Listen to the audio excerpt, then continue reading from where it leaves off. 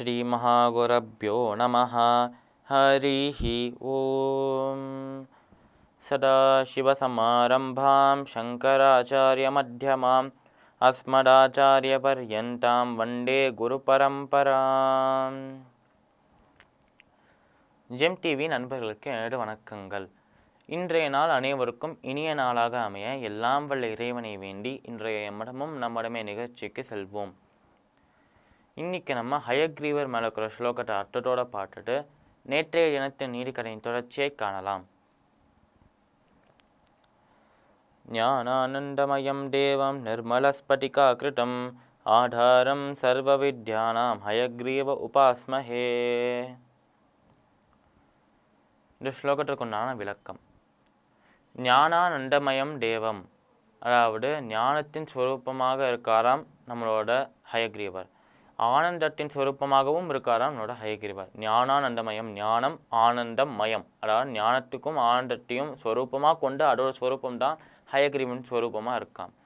ஞானானந்தமயம் தேவம் நிர்மல ஸ்பட்டிகா கிரட்டம் அதாவது கொஞ்சம் கூட அழுக்கில்லாமல் கொஞ்சம் கூட மாசு இல்லாமல் ப பளபளக்கிற ஒரு டைமண்ட் மாதிரி ஒரு வைரம் மாதிரி ஜொலிக்கிறாராம் நம்மளோட ஹயகிரிவர். அதனால் கொஞ்சம் கூட மாசு இல்லாமல் கொஞ்சம் கூட அழுக்கு தூசி எதுவுமே இல்லாமல் நம்மளுக்கு வந்து ஆனந்தத்தையும் அறிவையும் தராராம் நம்மளோட ஹயக்ரீவர். ஞானானந்தமயம் தேவம் நிர்மல ஸ்பட்டிகாகிருட்டம் ஆதாரம் சர்வ வித்யானாம். அயா அதாவது எல்லா இது வித்தியைகளுக்கும் எல்லா எஜுகேஷன் நாலேஜ் எல்லாத்துக்குமே வந்து கடவுளாக இருக்காராம் நம்மளோட ஹயக்ரீவர். ஹயக்ரீவ உபாஸ்மகே. இந்த எல்லா லட்சணங்களும் பொருந்திய ஹயக்ரீவருக்கு நமஸ்காரம். அதாவது ஞானம் மற்றும் ஆண்டத்தின் சொருப்பமாக இருக்கிறவர். ஞானந்தமயம் தேவம் நிர்மல ஸ்பட்டிகாகிருடம் அழுக்கில்லாத மாசில்லாத சொரூபத்தை கொண்டவர். ச ஆதாரம் சர்வ வித்யானாம் அதாவது சர்வ வித்தியைகளுக்கும் எல்லா எல்லா நாலேஜுக்குமே வந்து த தலைவராக எல்லா நாலேஜுக்குமே வந்து கடவுளாக இருக்காராம் ஹயக்ரீவர். இவ்வளோ லட்சங்களையும் கொண்ட ஹயக்ரீவருக்கு நமஸ்காரம் அப்படின்னு சொல்லி முடிக்கிறோம் இந்த ஸ்லோகத்தை. இந்த ஸ்லோகத்திற்கு உண்டான விளக்கம் இதுதான். இப்போ நம்ம நேற்றைய தினத்தின் நீதிக்கதையின் தொடர்ச்சியை காணலாம். இந்த இது நேர்மையான நபர் வந்து அந்த கஞ்சன் அந்த பேராசை பிடித்தவன்கிட்ட போயிட்டு எனக்கு கடன் வேணும்னு கேட்கும்போது அவன் எழுபத்தைந்தாயிரம் ரூபாய் செவன்ட்டி ஃபைவ் தௌசண்ட் தந்தான். அந்த செவன்ட்டி ஃபைவ் தௌசண்டும் இவன்கிட்ட ஏற்கனவே ஒரு டுவெண்ட்டி ஃபைவ் தௌசண்ட்ல அந்த பதினஞ்சு பேரில் வந்து சில பேர் அவளோட கடனை திருப்பி தரும்போது டுவெண்ட்டி ஃபைவ் தௌசண்ட் இல்லை இவன்கிட்ட அதனால் அந்த twenty five thousand seventy five thousand ரெண்டுத்தையுமே சேர்த்து ஒரு லட்சமாக ஆக்கி அதை அவன் நண்பருக்கு தந்துட்டார். நண்பருக்கு தந்த உடனே அப்போ தான் அவருக்கு வந்து ஞாபகம் வர்றது இந்த நபருக்கு. ஒரு நாள் சில நாட்கள் கழித்து ஒரு நாள் திடீர்னு ஞாபகம் வர்றது இவருக்கு. என்ன ஆறுனா தீபாவளிக்கு முதல் முந்தின நாள் அதாவது தீபாவளிக்கு முன்னாடி நாள் இருக்கு இருக்கிற அந்த நாளில் வந்து நிச்சயமாக கடனை திருப்பி செலுத்தணும் அப்படின்னு அந்த பேராசை பிடித்தவன் சொன்னான். ஐயோ நாளைக்கு தீபாவளி ஆச்சு இன்றைக்கி ராத்திரி முடிஞ்சால் தீபாவளி ஆரம்பிச்சிடும் அதனால் இன்றைக்குள்ள நான் ச தண்டாகணுமே காசு அப்படின்னு சொல்லிட்டு பயப்பட ஆரம்பிக்கிறான். இன்னும் நேர்மையாக இருக்கிறான் இந்த வட்டிக்கு விடுற நேர்மையாக இருக்கிற நபர்.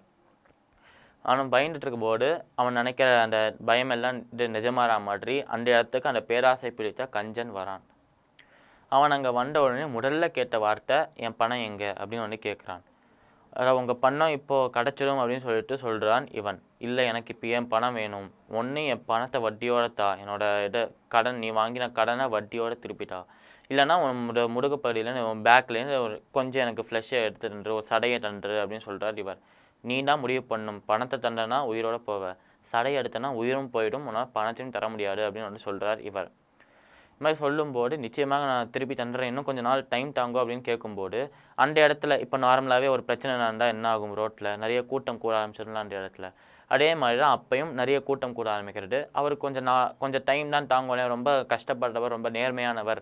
அவர்கிட்ட தான் நானும் கடன் வாங்கினேன். அதனால் அவர் கொஞ்சம் விட்டுருங்கோலே அப்படின்னு சொல்லிட்டு நாலஞ்சு பேர் அந்த கூட்டத்துலேயும் சொல்ல ஆரம்பிக்கிறான். அது அதை கேட்ட உடனே இல்லை இல்லை அவன் எனக்கு வாக்குறுதி கொடுத்துருக்கான். ஒரு அக்ரிமெண்ட் போட்டிருக்கோம் நாங்கள் அதை மீற முடியாது அவனால் அப்படின்னு வந்து சொல்கிறார் இவர். இதுக்கப்புறம் என்ன நடக்கிறது? கடை மேலும் மேலும் நகருது. இந்த கடையின் நீதிகள் என்ன? நாளை தினம் பார்க்கலாம். மீண்டும் நாளை சந்திப்போம். நன்றி. வணக்கம்.